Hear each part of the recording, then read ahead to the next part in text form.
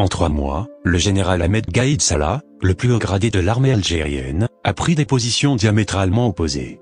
Faut-il craindre un homme qui passe son temps à changer de fusil d'épaule?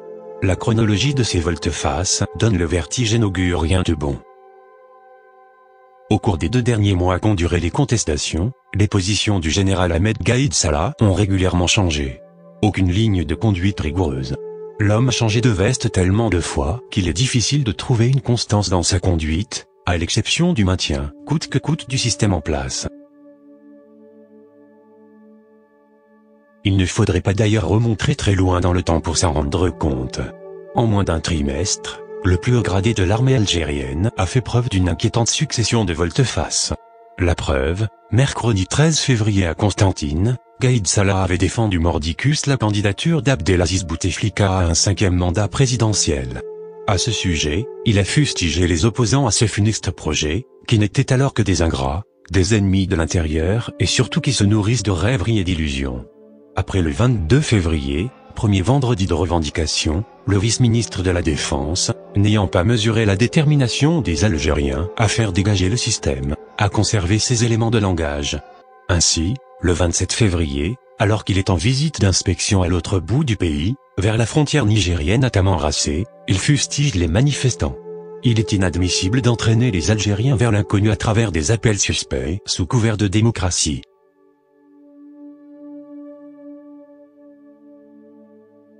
Le général de corps d'armée avait alors mis en garde contre ces appels douteux qui poussaient les Algériens égarés vers des sentiers douteux et non sûrs. Il s'était également permis de dire que ceux qui appellent à la violence sont des personnes qui ignorent ou feignent d'ignorer la volonté du peuple algérien vivre dans la paix et la sécurité et qui peuvent mener les Algériens sur des chemins non sécurisés. Il a gardé le même discours et même hostilité aux manifestants le vendredi suivant, le 1er mars. Ainsi, Quatre jours seulement, après une nouvelle démonstration de force des manifestants dans l'ensemble des villes du pays, alors qu'il est en visite à Cherkel, il pointe du doigt des forces mal intentionnées jalouses de la stabilité et de la paix qui règne, qui seraient derrière les appels à manifester contre Bouteflika. La réponse de la rue algérienne aux vociférations du chef d'état-major a été sans appel. De vendredi en vendredi, le nombre des manifestants va croissant. De dizaines de milliers, ils sont passés à des centaines et puis des millions de manifestants et rien ne semblait être en mesure de contrer la dynamique des revendications des Algériens. C'est là que Gaïd Salah a commencé à lâcher l'homme à qui il doit tout, y compris le fait de ne pas être mis à la retraite.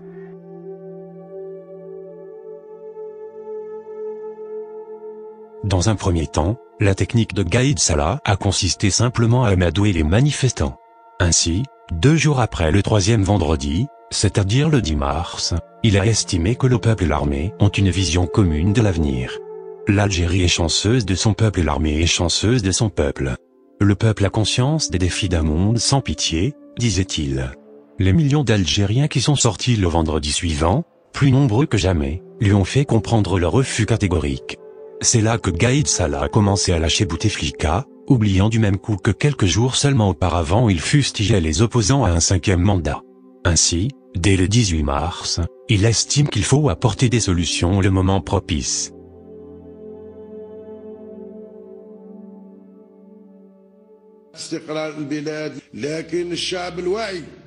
Les solutions, préparer le terrain à la prochaine sortie du généralissime, où il a demandé l'application de l'article 102 devant consacrer l'empêchement d'un Bouteflika malade. Ce moment grave a eu lieu le 26 mars. Malheureusement, l'application de cette solution devait passer par la collaboration de Taïeb Belez, président du Conseil constitutionnel. Or ce dernier, qui avait été nommé, à peine un mois auparavant, le 10 février, par le clan Bouteflika, qui savait qu'il allait avoir besoin d'un homme de confiance, a fait la sourde oreille à l'injonction du général. Car, après avoir constaté l'empêchement du président Bouteflika, c'est le Conseil constitutionnel qui devait saisir le Parlement pour que ce dernier constate la vacance et lui trouve un remplaçant en la personne du président du Sénat. Ce que n'a pas fait Taïeb Belez.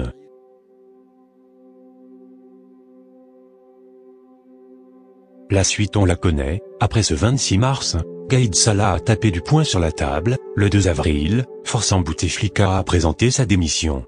Après avoir réuni tous les généraux des différentes armées des diverses régions militaires, il commet un long communiqué digne du Parti communiste chinois.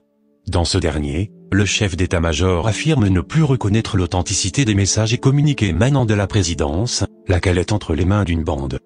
L'on se représente un peu la vitesse avec laquelle Gaïd Salah change de position. Le 13 février 2019, il traite d'ennemis de l'intérieur les personnes qui s'opposent à un cinquième mandat de Bouteflika. Le 27 février, il traite de garer les Algériens qui sont sortis dans la rue le vendredi 22 février. Le 1er mars, il soupçonne les manifestants d'être manipulés par forces mal intentionnées jalouses de la stabilité et de la paix qui règne. Et le 26 mars, de théâtre, il diffère corps avec les revendications du peuple et exige la destitution d'Abdelaziz Bouteflika.